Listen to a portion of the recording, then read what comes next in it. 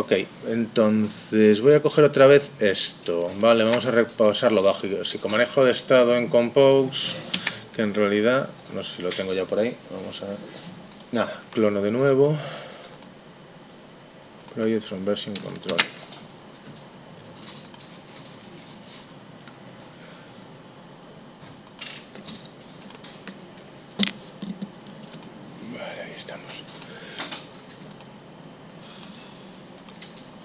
A ver, aquí teníamos uh, screens, ejemplos, varios ejemplos, cero, ya no me acuerdo, vamos a ver. Vamos a repasar algunos de ellos. Entonces, estos eran lo más sencillo de botones, por ejemplo, en onClick, aquí tenemos una lambda, ¿no? Le asignamos el evento de que cuando se hace clic se incrementa la cuenta, sin más.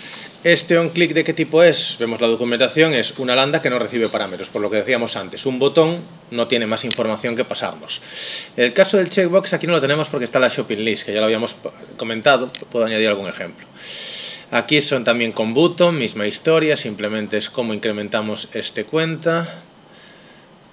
El remember save, todos estos son lo mismo, porque todos son con un clic y es el uso del remember saveable más bien, pero no hay mayor historia. Y aquí ya se estoy hoisting vale, el paso de esta lambda de aquí, que es la que va a incrementar esta variable, que es visible desde aquí, y que aquí se va a recibir como, una param como un parámetro on increment. Aquí ya no decimos on click, pero que tenemos una acción asignada cuando se incrementa, cuando pulsas incrementar, sigue siendo un click, al final va a un on click. Todos estos por eso no reciben parámetros, porque son acciones, porque lo único que tenemos es on click, que es la información de que ha sucedido ese evento, pero ese evento no conlleva otra información de Mm, de un valor. Sin embargo, me parece, a ver el 2 si tenía algo... Textbook, este ya tenía otra historia. Ah, no, esta es la misma historia. Aquí simplemente voy modificando una línea. Pero, en realidad... Em, mm, bueno, no, esto nos va a liar más. Vamos a pasar al 3. El 3, vale, el 3 sí que tenía más historia. De hecho, voy a irlo ejecutando mientras. En el 3 tenemos una variable de texto aquí, pero lo que nos interesa ahora estamos centrados en el tema de pasar las landas. Aquí está lo que hablábamos, el text field. Vale. El text field tiene un valor que es un texto y un onValue change, pero que aquí ya me dice que recibe un int de tipo string. si dejo el cursor encima, vemos que es una lambda que recibe un string. Esto es lo que quiero que, veamos claro, es por lo que decíamos antes. O sea, se entiende el tema de el button no puede recibir nada porque no hay una información nueva. El on, el on check change de un checkbox recibe si el nuevo valor es true o false, entonces recibe un boolean. El texto, cuando yo cambio el valor inicial y pongo una letra nueva, yo tengo que notificar ese cambio a otro sitio. Ese nuevo texto es información nueva que tengo. El hecho de que yo he pulsado la S dispara dos eventos, que el valor ha cambiado, es la información que lanza el evento, y luego, pero ese evento se lanza con una información nueva, que es ¿y qué pone ahora? No es lo mismo que yo haya pulsado la S y ahora ponga olas que que haya pulsado la A y ponga hola A. Entonces, esa información yo la, la necesitaré cuando en el futuro se ejecute la lambda que está asociada al evento. ¿Entendemos? Eso es lo que tenemos que identificar claro de por qué unas veces se recibe un parámetro u otro. Y sobre todo cuando no somos nosotros el que definimos si en mi función se va a recibir una lambda que tiene que recibir algo o no. Pues va a depender de esto, de a dónde se la estoy pasando. ¿Se la estoy pasando algo que va a recibir información nueva o no? Vale. Esto ya digo, en uno de los últimos vídeos que subí, creo que tres atrás, eh, uno de repaso con el ejercicio de, yo creo que era también con Shopping List, volví a darle vueltas a lo de eh, el check, eh, el check change. Y ahí es donde, porque el check change, no sé si recordáis, sí, de primera está definido para recibir el boolean, pero yo lo puedo ignorar. Recordamos que lo hablamos, yo puedo ignorar eso, ese boolean que recibe, porque yo ya sé que ese boolean que recibe va a ser el inverso del que tenía antes. Y por e, volvemos a verlo si no.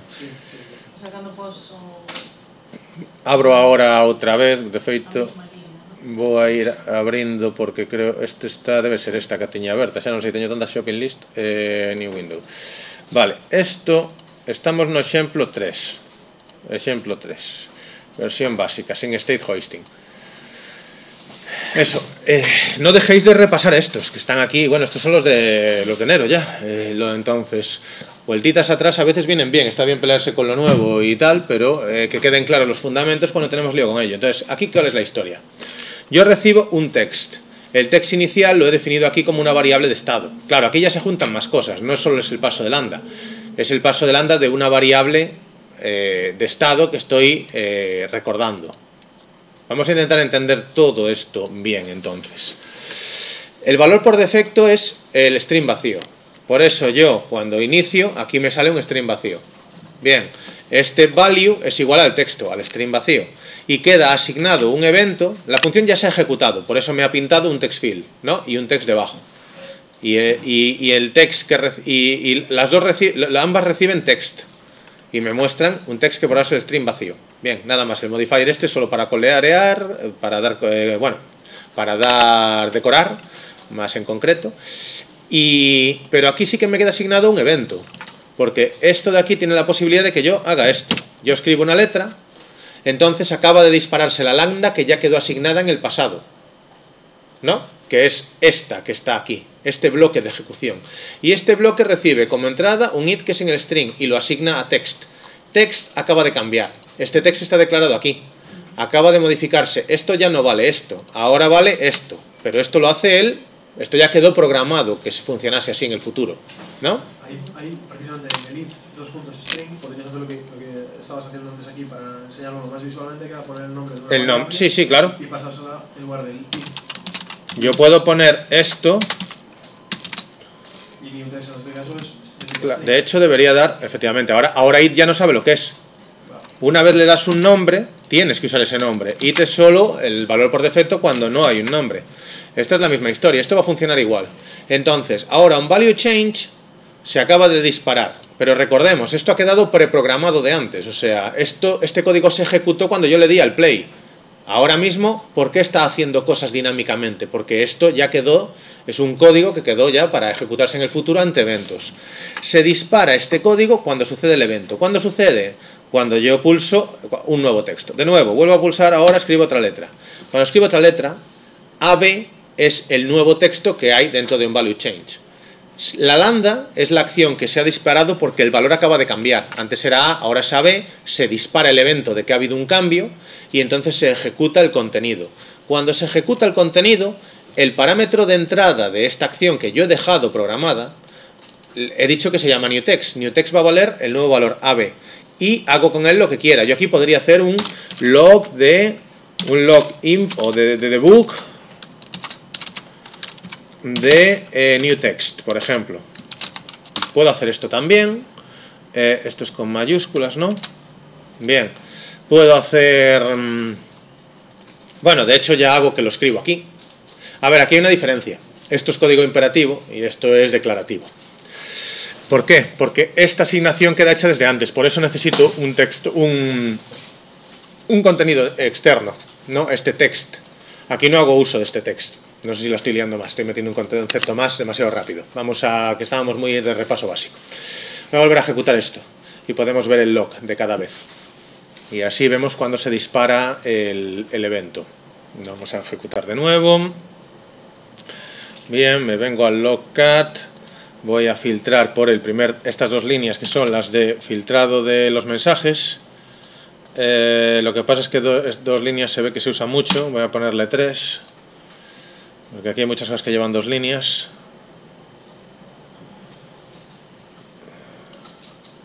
Vale. A ver ahora. Y ahora no hay tanta información. Vamos a ejemplo 3, versión básica.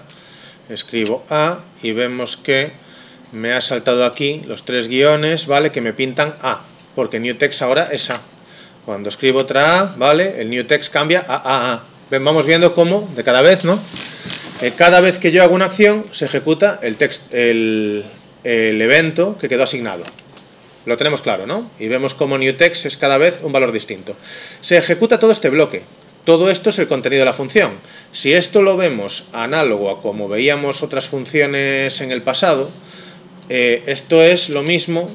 O sea, todo este bloque de aquí es como si dijéramos una función que recibe un parámetro newText de tipo string y que al ejecutarla ejecuta todo esto. Solo que todo esto, esta función, le asignamos un nombre que es bueno, en este caso no le asignamos ningún nombre, esta función la pasamos directamente como parámetro. Esto, esto que acabo de poner en azul es como lo empaquetamos y lo mandamos, como si empaquetásemos un objeto. Ahora podemos pasar eso, una función como objeto. Bien, entonces, pasamos esa función para aquí. Recibimos esa función. Volvemos a lo de antes. Cada vez que yo... Y ahora es donde viene un paso más, que es ¿por qué usamos una variable externa? ¿Por qué no una variable sin más? ¿Por qué se ejecuta esta lambda, pero esta lambda, ¿por qué actúa sobre esta variable que está aquí? Porque necesitamos una variable con la API de estado. Esto es lo que nos oculta Compose. ¿Por qué? Si fuera una variable sin más, si yo pongo var text igual a esto y me salto todo lo del mutable state y el remember saveable, ¿qué pasaría? ¿Alguna idea? ¿Cambiaría la variable? Me refiero. No, no, apare- no aparecería reflejado en el campo de texto. No aparecería eh, reflejado, ni en este ni en este, en ninguno de ellos, ¿no? Porque ahora mismo Como mínimo en el amarillo no, pero en el arriba no. Supongo que tampoco. en ninguno de los dos. ¿Por qué? ¿Alguien lo sabe? Porque no está almacenando el estado. Es que decir, no, no está guardando el estado. O sea, Más bien, a ver, la variable cambiaría de valor. Si tú haces un debug o tú printeas esa variable text, la variable está cambiando de valor. Lo que pasa es que si yo no uso mutable state of o alguna API similar, eh, fijémonos que esta API, mutable state of, esta librería, pertenece a las librerías de Compose. Todo esto específico de Compose. Lo que hace es que esta API está pensada para, ya tiene automáticamente dentro unos métodos que, cuando el valor se modifica, notifica a Compose y le dice, acaba de cambiar el estado. Y cuando cambia el estado, ¿qué tiene que hacer Compose? Recomponer. Entonces, automáticamente el aspecto visual se recompone con el nuevo estado. Por eso necesitamos usar alguna API de estado. ¿Sí? Bien. Correcto. Entonces, lo que estamos haciendo de primeras, y ahí es la diferencia de, aquí tenemos simplemente un código que se ejecuta pues en el momento que se dispara la acción, en orden, aquí son una serie de sentencias, ¿vale? Esto es código imperativo, desde el momento que metemos el log C, este pequeño bloque. Bien, pero el hecho de que en este texto de aquí va a aparecer este texto, quiero decir, aquí no se está disparando ninguna lambda en el futuro. Esto simplemente quedó eh, declarado desde el principio. ¿no? Quedó que en esta caja de texto, en la segunda, el contenido va a ser el mismo text, que es la variable común. Fijaos la diferencia aquí, que es lo que nos confunde a veces. Eso es programación declarativa. Yo le estoy diciendo, en el texto va esta variable.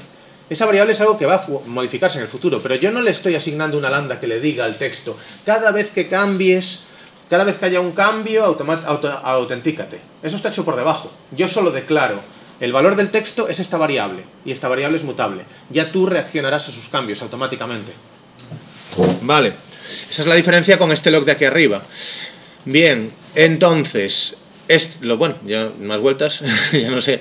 Esta lambda es la acción que queda asignada al value change, sabemos que tiene que recibir un string porque es la nueva información que tenemos y sabemos que esa nueva información lo que hace es modificar una variable de estado para que compose recomponga y entonces veamos los efectos en nuestra interfaz de usuario.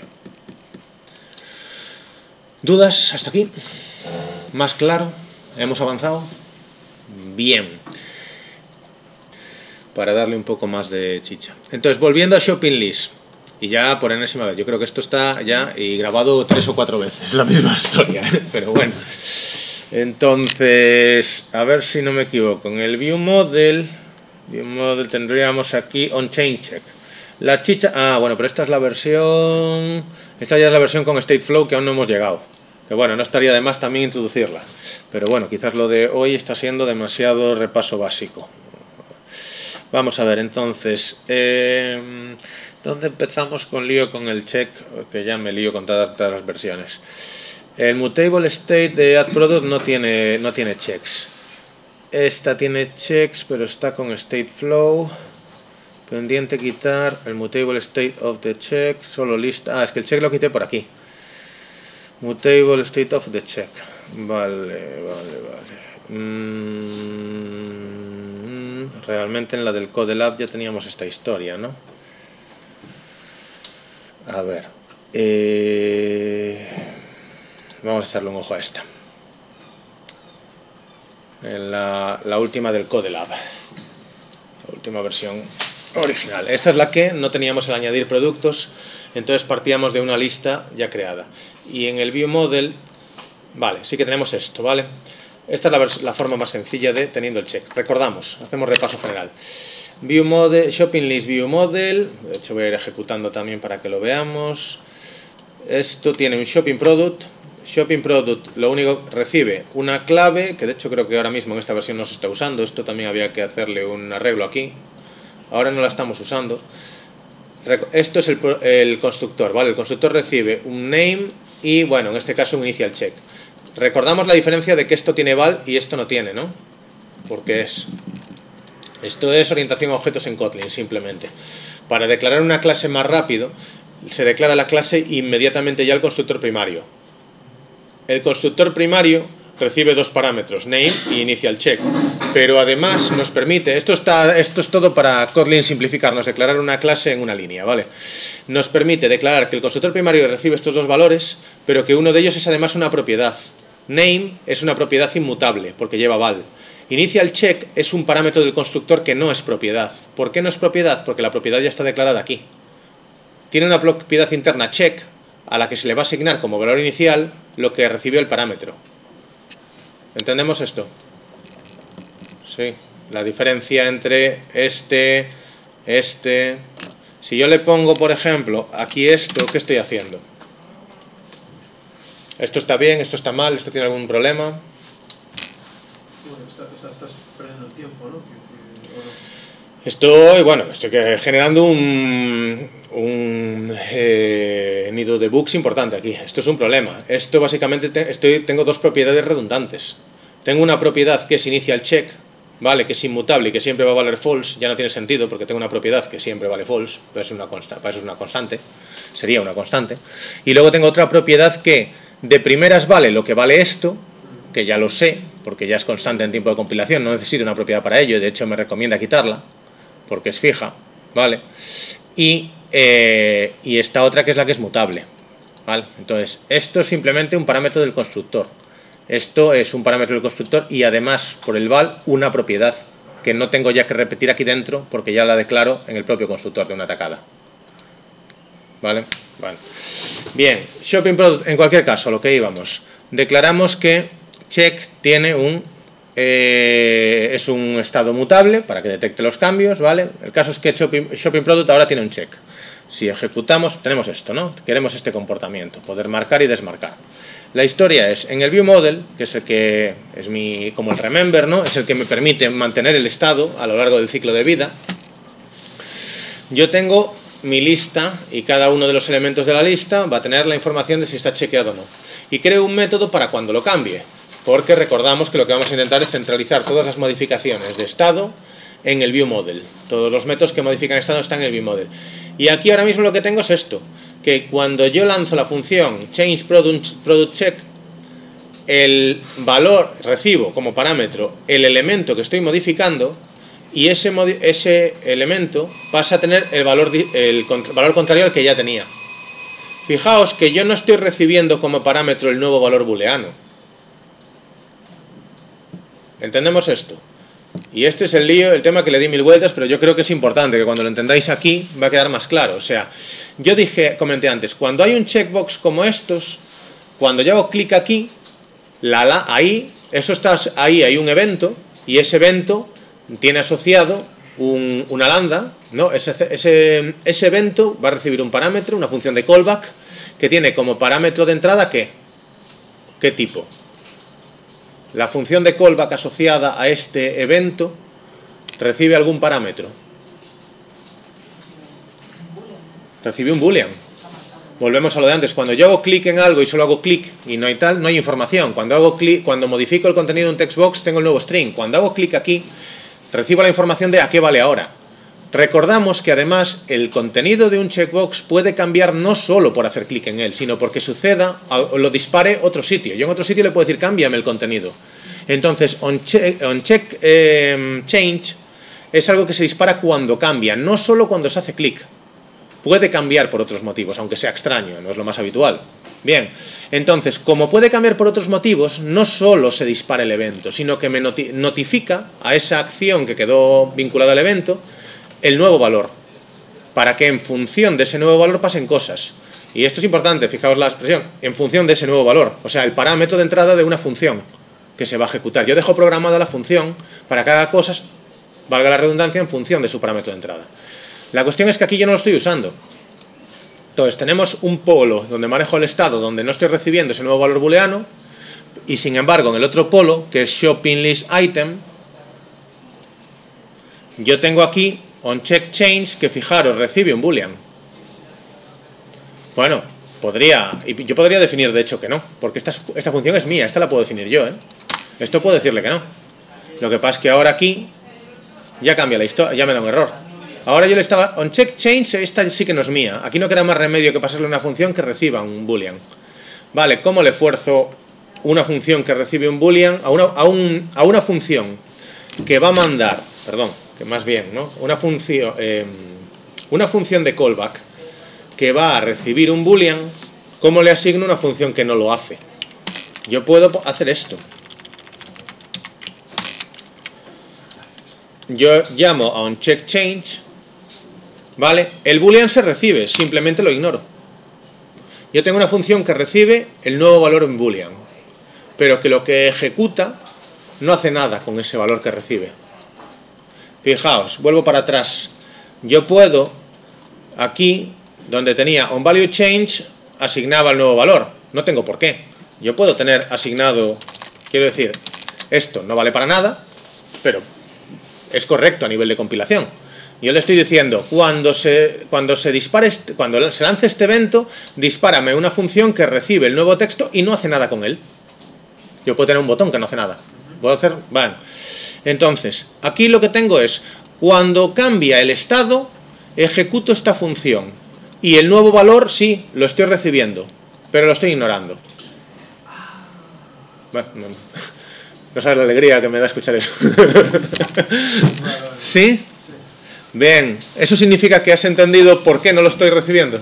Porque es lo que quiero, a lo que quiero que lleguemos. ¿Por qué? ¿Cómo que no? Claro, ¿por qué estoy ignorando este it y va a funcionar igual? Eso me lo podéis Ah, creer. ah, va a funcionar Esto- igual. esa es la historia. Eso, eso no, no, lo sabía. Bien, vamos a darle, a ver, los enésimos, eso, o sea, paso. Con check, con check change, eh, entiendo que en sus entrañas ya la, la, la, la o sea, un segundo, de abajo. Eh, espera, que un momento donde, ¿por qué no me? Esta, Esa, Sí. eh, en su funcionamiento interno, pues tiene, o sea, recibe eh, un, un, un booleano, no. ¿no? Esto es una función, fíjate, tiene sus parámetros de función. Si recibiera un booleano, Ah, claro. todo lo que reciba va a estar aquí. Aquí yo le puedo pasar un string, le puedo pasar un boolean, le puedo pasar el otro boolean it, ¿vale? Pero para que reciba estos parámetros, aquí tengo que definirle que recibe string, eh, lo segundo era un boolean y otro boolean. ¿Vale? Acabo de solventar el problema de compilación. Ahora tengo una función que sí recibe un string, un boolean y otro boolean. Pero yo la estaba llamando sin que recibiera nada. Si no recibe nada, aquí tiene que estar definida también como que no recibe nada. Como cualquier función. Esto ya no tiene que ver con lambdas. Esto es, yo llamo una función y tengo que llamarla con los parámetros que están definidos. Bien. Entonces, aquí hay dos formas de pensar. En el sentido de, puedo pensar de abajo arriba, yo tengo un checkbox que ante este evento va a mandar un boolean, por lo tanto le tengo que asignar una función que haga algo con ese boolean. Esto, este razonamiento es lógico. Vale, pero estoy pensando desde la interfaz de usuario. Lo más, el objetivo es más bien pensar desde tener una visión global y desde el estado, primero, de arriba abajo, entender cómo funciona mi aplicación y qué necesito. Si yo hago esto, tengo que definirla aquí como estaba antes, con un boolean. Puedo pasar el boolean o puedo no pasarlo. ¿Vale? La cuestión, lo importante, y ya digo, yo creo que este es un poco punto clave que cuando lo pilléis todo empezará a ir mejor, es por, básicamente por qué da lo mismo que lo pase que que no. Bien, vamos a. Y esto vamos, vamos al práctico. Vuelvo a hacer, yo creo, que, yo creo que ya está grabado dos o tres veces, pero bueno, vuelvo a hacer el cambiarlo en una dirección, cambiarlo en otra y a ver si acabamos viendo qué está pasando. Vamos a hacerlo asumiendo, usando ese, ese boolean, ¿vale? Yo recibo el valor booleano y quiero que, asignarlo a la variable de estado que lo va a modificar. ¿Se entiende lo que busco hacer? Bien. Entonces, recibo este it. Por lo tanto, ese id se va a recibir en una función que voy a recibir y asignar este evento que va a usar ese boolean. ¿Qué función le voy a pasar? Pensémoslo. Esta función, esta, este shopping, este parámetro de aquí, ¿para qué está pensado? Para que yo le asigne la función, que en el futuro, cuando haya una acción, vea el valor nuevo y lo asigne a esa cosa que tengo en el viewModel, ¿no? Al valor que tengo, bueno, en viewModel, en este caso en, eh, aquí, eh, bueno, en data, a este check, ¿no? Yo quiero el nuevo boolean que llegue hasta aquí. ¿Lo vemos claro? Bien. ¿Cómo hacemos eso? Me vengo, eh, vuelvo desde list item, aquí, vale, ya sé que voy, este boolean, pues, eh, yo voy a recibir aquí una función que va eh, a recibir ese boolean y pasarlo para arriba cuando suceda el evento. Me voy a un nivel superior, ¿dónde llamo a esto? En shopping list. En shopping list se llama cada elemento y aquí hay un onCheckChange, ¿vale? OnCheckChange llama a, a su vez al parámetro que recibe. Pero yo estaba, acabo de decir, yo quiero utilizar el boolean, que ahora no lo estoy usando. Entonces tendré que pasarlo aquí. Porque este check change va a recibir un... Mm, no va a recibir un it boolean, debería, sí. Entonces, ¿qué es lo que no le gusta? Ah, bueno, sí. Correcto, lo paso aquí, pero entonces aquí tiene que estar definida como tal, como que use un boolean. ¿No? Volvemos para atrás. Venga, paso para atrás. On-chain, eh, esta función de aquí, he definido dentro, que recibe un boolean como parámetro de entrada. ¿Vale? Eso lo que indica es que aquí, efectivamente, yo recibo ese boolean. ¿Claro? Ahora la cosa es si hago algo con él o no. Yo tengo ese nuevo boolean. Eh, nuevo valor check del check. ¿Y qué hago con el nuevo valor del check? Yo puedo ignorarlo, hasta ahora lo estaba ignorando. Pero yo quiero asignárselo a mi estado. Pues para eso tendré que pasárselo a la función que estoy asignando aquí. Tendré que modificarla para que pueda recibir un nuevo valor check.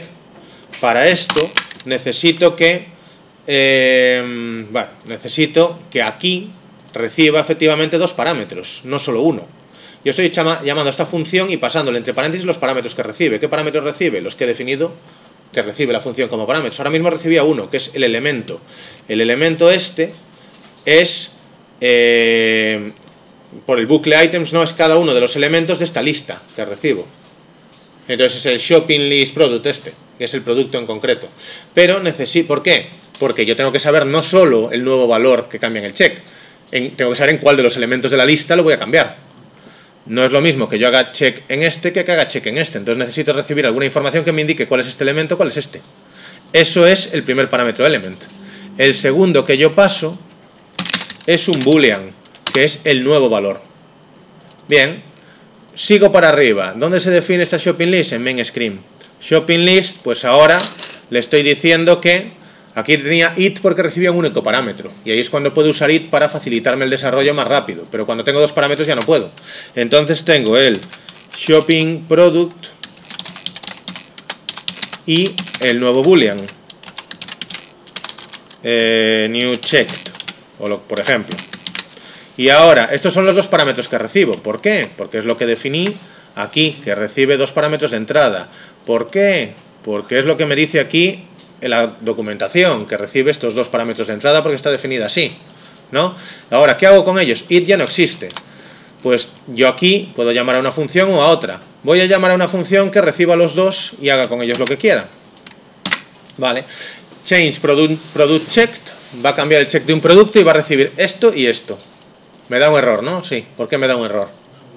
Porque esta función por ahora está definida para recibir uno solo. Bien. Lo que voy es a sobrecargarla para poder usar los dos. ¿Vale? Entonces lo que voy es a crear otra que recibe un boolean. Entonces, new value. New value de tipo boolean. Y este new value, pues ya ha llegado al final. Ya estoy en el, en el bimodel, ya estoy en el manejo de estado. Ya he recibido el nuevo valor booleano.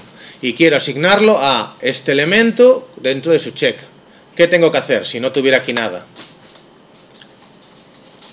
¿Cómo se implementa el contenido de esto? Este nuevo valor asignarlo a la propiedad check de este ítem. item.check igual a new value. Punto check igual a new value, correcto. Esto debería funcionar si no se me ha escapado nada. Y ahora lo estamos haciendo con esta y esta de aquí no la estamos usando. Vemos la diferencia entre esta y esta. ¿Y por qué, tengo, por qué las dos funcionan y una funciona re- sin recibir el nuevo valor? Claro, eso, es- es- eso se simplifica negando el valor. Claro, a ver, yo utilizo esta, recibo el nuevo valor desde el interfaz, el interfaz me notifica de cuál es el nuevo valor. Lo manda hacia arriba hasta el estado, ¿vale? El evento se, diri- se mueve completo todo hasta arriba a través de las landas hasta el estado. Modifica el estado, que es este. Le asigna el nuevo valor al estado. Como este estado, este check, es un mutable state, se notifica a compose. Por lo tanto, esa notificación hace que se recomponga. El nuevo estado baja otra vez eh, a través de las distintas funciones composable, ¿vale? Y se actualiza en la interfaz gráfica, en la vista. ¿Bien? ¿Sí? Por lo tanto, ¿qué acaba de pasar? El flujo es este. Yo hago clic aquí. Hay una información que dentro de este elemento shopping list, ¿vale? Yo acabo de lanzar este evento. On check change acaba de suceder. Por lo tanto, se ejecuta la lambda asignada on check change, que recibe un nuevo valor booleano, que es lo que vale ahora, que es true. Yo acabo de hacer clic aquí y la información es true. Entonces, este true se pasa a esta función. Esta función se recibe como parámetro en onCheck change de esta función. En el nivel superior, entonces se está recibiendo aquí. OnCheck change igual a toda esta lambda. Y aquí ya se introduce un nuevo va- valor. Esto no viene desde ahí abajo. Esta asignación de este elemento a esta función, ¿vale? Quedó, quedó asignada desde que se hizo el bucle. Yo sé entonces que ahora estoy utilizando producto 5, bueno, la referencia de la posición de memoria del producto 5, que es element, y el true este que estoy recibiendo desde aquí. Pero fijaos, este, este element viene desde el nivel superior, no está dentro de esta lambda. ¿Vale? Sigo hacia arriba. En main screen se recibe esa misma información, el shopping product que se acaba de modificar y el nuevo valor que tiene. Voy hasta el view model. Eh, en el view model estoy llamando a esta función, recibo el elemento que se va a modificar el nuevo valor, asigno el nuevo valor al check. Como es un estado, se notifica compose. Compose se recompone y por eso veo esto a true. Todo esto ha pasado desde que yo he hecho clic, todos esos pasos. Bien, ahora vamos a cambiar el contenido para utilizar esta función en lugar de esta y ver cómo pasa, cómo sucede. ¿Qué pasa? Pasa lo mismo. Yo ahora no quiero usar esta de aquí. Esta función, digamos que no existe, quiero usar esta otra. Vale. Esta otra, entonces me vengo a shopping list, no, a main screen. A main screen y aquí tengo un error. Esta ya no la puedo usar. De hecho, podría dejarlo aquí. Fijaos, yo puedo hacer esto. Yo puedo recibir el nuevo valor y no usarlo. Todo está igual, pero ahora llamo a esta función. Misma historia. Yo hago clic aquí y todo pasa todo lo de antes. Paso este true hasta aquí. Hasta aquí llega el nuevo true. Pero aquí no se le pasa. Ejecuto esta función y esta función no tiene conciencia de que el nuevo valor es un true. Solo sabe que ha cambiado el valor a alguna cosa, ya sea true o a false. ¿Y qué hago? El check de ese elemento que acaba de cambiar, que es el elemento, el producto 7, ¿vale? Lo asigna al valor contrario al que tenía antes. Antes estaba false, ahora le asigna un true. Como se notifica el cambio, basa la información para abajo, se recompone y se pone aquí a true. ¿Por qué funciona igual? Pues precisamente porque estoy aplicando un modelo reactivo en el que lo que estoy viendo va a ser siempre una representación de la, de la lógica. Yo lo que voy a ver siempre en el check es el valor que tengo en el estado que representa el check. No lo tengo desdoblado, no le doy órdenes de pon la vista a lo que vale. Nunca le digo explícitamente pon en la vista un true, pon en la vista un false. No, yo declaro esta vista se corresponde con esa variable. Y siempre se va a corresponder con esa variable. Cada vez que la variable cambie se va a notificar automáticamente. Con lo cual no hay posibilidad de que choquen. Yo no tengo que recibir el valor nuevo. El valor nuevo siempre va a responder al viejo. Por eso lo puedo hacer de las dos maneras. ¿Sí? ¿Puedes hacer clic en un Sí. y ponerlo en cuadrado vez? Deberías, ¿no? ¿Cómo, cómo? ¿Hacer clic y...? Ahí, ahí justo, ¿Sí? Ah, vale. No, pero bueno, tampoco re- hice varios cambios y no reejecuté, ¿eh? O sea, tampoco sé en qué versión estoy ejecutando, cuidado. O sea, En la primera. Tendríais que creer, os creéis que me vais a creer para no perder el tiempo que todas las que he dicho todas funcionan, ¿vale? Si ejecutamos otra vez esto tiene que funcionar y si no, hombre, a ver, se me puede colar alguna rata, pero la explicación estoy bastante seguro de que es correcta. Entonces, los dos deberían funcionar con esos cambios. Ah, y lo podemos llevar un paso más allá. Una vez yo he decidido ignorar esto aquí, tampoco necesito recibirlo desde aquí. Con lo cual también puedo simplificarlo aquí. Esto además, al no recibir dos parámetros, me permite usar it para programar más rápido. Shopping list item, misma historia. Yo ya, necesito, ya no necesito el booleano. Pero aquí es donde... ¿eh? Ahí ya está definido. Sí, pero lo puedo quitar porque como no lo voy a usar, podría quitar este it. Y funcionaría igual. La cuestión es dónde lo mantengo definido y dónde no. Aquí, para aquí para abajo ya no puedo, porque el checkbox me va a informar por si acaso. El checkbox no lo he programado yo. El checkbox y en la librería puede haber casos en los que yo sí necesite esa información, porque ya no esté programado de esta manera. Entonces, él por si acaso me lo pasa. Y ahora yo podría pensar, bueno, yo no sé si este shopping list item después alguien lo va a usar sin un view model, esto es una API mía, a lo mejor esto se va a reutilizar, va a haber modificaciones, entonces por si acaso, pues yo, eh, o a lo mejor no lo, mm, sí, lo paso para arriba, ¿vale? Y esto es un boolean, y donde lo ignoro es en la lista concreta. En este caso, como me llega con el element, ignoro este nuevo valor y lo dejo aquí en el aire. Pero se recibe, por si en el futuro hace falta. No pasa nada. A veces que yo puedo ignorar un parámetro. Ahí el dónde lo, hasta dónde lo quito, hasta dónde lo pongo, en este caso la verdad es que no tengo un criterio claro, ¿vale? Depende de lo dónde quieras que tu función sea reutilizable. En otros casos en los que sí pueda ser necesario el nuevo valor. Em, estuvimos ejecutando la versión esa y bueno, sí, Vemos que sigue funcionando, efectivamente, ¿no? Pues ese es un poco el tema, entender esos dos casos, entender por qué, cuándo eh, pasa un parámetro, cuando otro, coger fluidez en si tengo que cambiarlo hacia un lado, si tengo que cambiarlo hacia el otro. Os recomiendo que esto que acabo de hacer ahora, o sea, no dejéis pasar mucho tiempo, hagáis esto en una dirección y en otra, hacerlo tres veces. Vamos a hacerlo recibiendo el valor, vamos a hacerlo sin recibir el valor y que quede clarísimo. ¿Vale? Está. ¿Eh? Eso está. Sí, de hecho sigue, sí. Lo dejo por aquí. ¿Alguna duda más de esto? ¿Algo más que queréis que añada? Lo dejamos por ahí.